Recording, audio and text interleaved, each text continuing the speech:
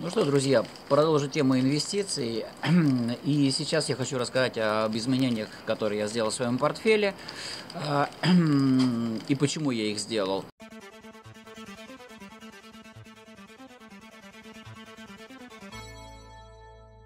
Итак, здравствуйте, друзья, здесь Демитков Юрий. Я в последнее время сильно разочаровался в э, нефтяном секторе России – и полностью закрыл его в своем портфеле.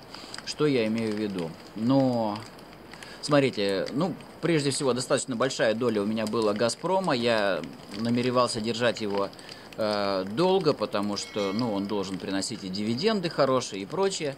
Но ситуация с последней выплатой дивидендов, когда их просто украли, э, ну, как бы меня сильно расстроило. Я решил, что, в общем, ну, это некрасиво просто получилось по отношению ко всем акционерам, к миноритариям. Если вы помните, что э, «Газпром» сначала не выплачивал дивиденды, а потом сказал, что выплатит большие. Но, э, да, и было объявлено на заседании Совета директоров предложение к собранию акционеров выплатить большие дивиденды, но внезапно на собрании акционеров э, грубо отменили все это, просто вот грубо. И государство что сделало? То есть государство не получит тоже эти дивиденды, но государство, э, как, так как является владельцем всего, оно решило просто э, с другой стороны подойти и за счет НДПИ взяла эти деньги у «Газпрома» себе а всех остальных акционеров просто кинула. Это некрасиво, я считаю. Во-первых, во-вторых, это надругательство над фондовым рынком, а в-третьих, а, что происходит с «Газпромом», ну, вы знаете, сейчас санкции и прочее, и э, сокращается нефтедобыча. В связи с этим, значит, я решил закрыть э, всю нефтянку в своем портфеле. А, то есть я продал все акции «Газпрома», «Лукойла», я продал транснефть, потому что если не будут добывать, то что будет э, э, с транснефтью, то есть транспортировать тоже нечего будет. Ну вот, э, ну и сейчас речь идет о том, что с февраля месяца вводятся новые санкции уже на нефтепродукты. Я решил продать и Газпром нефть тоже. Ну, а эти деньги, ну, то есть я решил, что эти акции будут падать, потому что эти компании будут нести э, убытки и сокращение операционной прибыли. Что я купил э, на те деньги, которые я высвободил? А, я купил на эти деньги облигации Газпрома, КЗО. Что это такое? Ну, смотрите, сейчас у нас Э, валютные инструменты не работают фактически, потому что SWIFT отключен и так далее, все расчеты в долларах э, заблокированы. Вот. Но что придумали э, в России, значит, на фондовом рынке, это так называемые КЗО, то есть замещающие облигации. Это облигации, которые номинируются в долларах или в евро, то есть те же самые евробанды, но при этом при этом а, все расчеты происходят в рублях исключительно.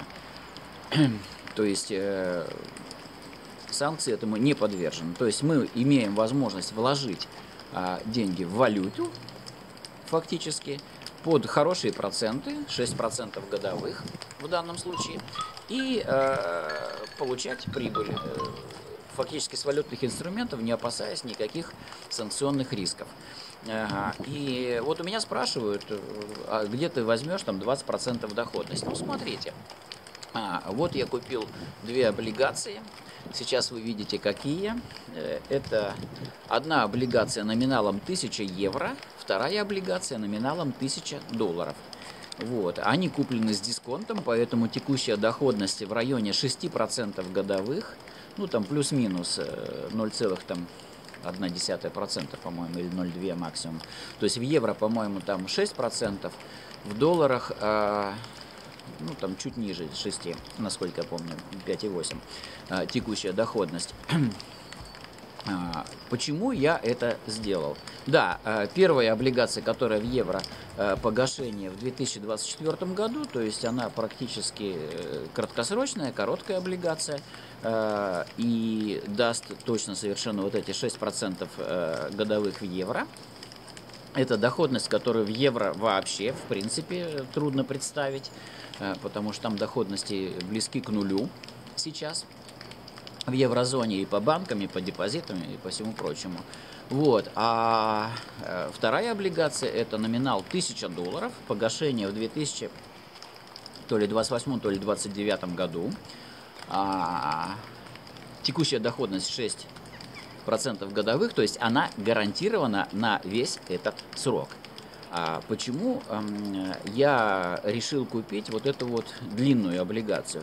Ну, смотрите, сейчас э, наблюдается э, пока еще э, повышение ставок ФРС, но этот процесс уже близок к завершению. И я думаю, что к марту месяца будет последнее, по оценкам многочисленным, последнее повышение ставки ФРС. И она повысится до 5, то есть это по-любому выше, чем ставка ФРС. Что будет потом? А потом э, из-за высоких ставок ФРС э, соответственно, начнет сыпаться американская экономика. И они никуда не денутся, они будут ее поддерживать. А, они будут ее поддерживать. И как поддерживает, так сказать, э, поддерживается экономика в современном мире? Снижением ставки ФРС, то есть раздачей э, очередного бабла. Вот. И поэтому, э, когда ставка ФРС начнет снижаться, соответственно, к чему это приведет? Значит, доходность ну, ставка ФРС снижается, деньги дешевеют, и, конечно же, э, доходность по облигациям должна э, упасть э, до текущей ставки фактически, ну, обычно текущая ставка плюс 1% или там 2%, 3% максимум. Вот, текущая ставка снижается, а купонная доходность, она фиксирована, она гарантирована, поэтому Поэтому будет что?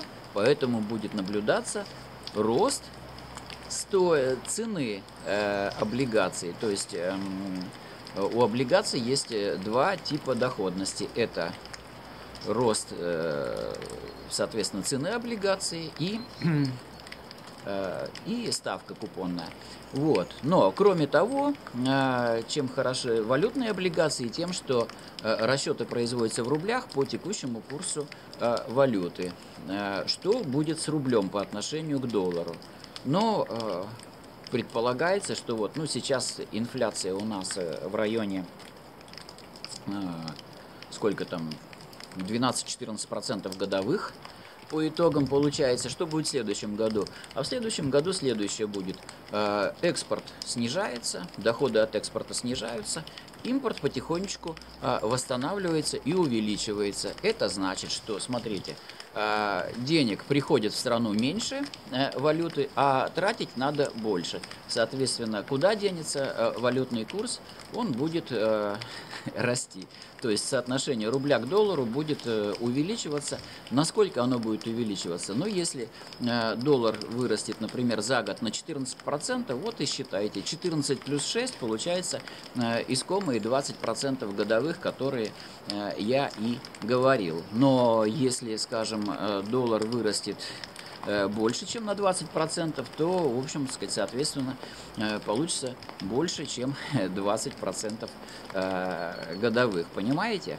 Вот, поэтому я считаю, что, ну, во-первых, облигации э, дают гарантированную доходность, то есть вот если я зафиксировал ее в районе 6% годовых текущая доходность, так она такой и останется до момента погашения. Подробно я о том, что такое облигации, как рассчитывается доходность, что такое купонный доход, значит, как выплачиваются э, купоны и так далее и тому подобное, я рассказываю на своем курсе «Биржа для чайников». Там э, теме облигаций посвящено целых три дня, три занятия, понимаете, по два часа каждое, то есть 6 часов я рассказываю только об облигациях, поэтому э, так коротко нельзя э, рассказать. Но вот я показал конкретно, какие я купил. Хотите покупайте, хотите нет. Если хотите разбираться в облигациях, то, пожалуйста, милости просим. Э, вон там вы видите э, ссылочку на э, dimitkovyur.ru. Э, это мой сайт, и там есть курс биржа для чайников, где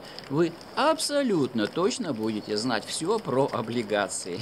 То есть я там вдалбливаю это дело в течение трех дней. Вообще все. Оферты, значит, там корпоративные и прочее, прочее, прочее. Э, кроме того, конечно же, э, вы будете приглашены в чат, где осуществляется поддержка. То есть, если вам что-то непонятно, лично мне задаете вопросы, лично я вам буду отвечать.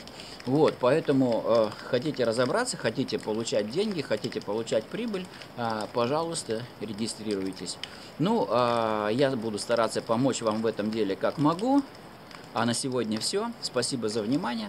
С вами был Демитков Юрий. Не забудьте, пожалуйста, поставить лайк и подписку. И да, подпишитесь, пожалуйста, на мои а, другие каналы. А, ну, в частности, канал про путешествия, потому что скоро у меня а, намечаются, в общем сказать, очень интересные а, там а, сюжеты. Вот. Ну, еще раз. До встречи. С вами был Демитков Юрий. Ну что там, что? Че, они мне выдали вот такую бумагу. Типа я сейчас хочу сфоткать и отправить секретарше, которая мне говорила, то, что вот эта справочка, вот, мелкая бумажка, это не то. Если вот это подходит, вообще прекрасно. То есть тебе сфотографировать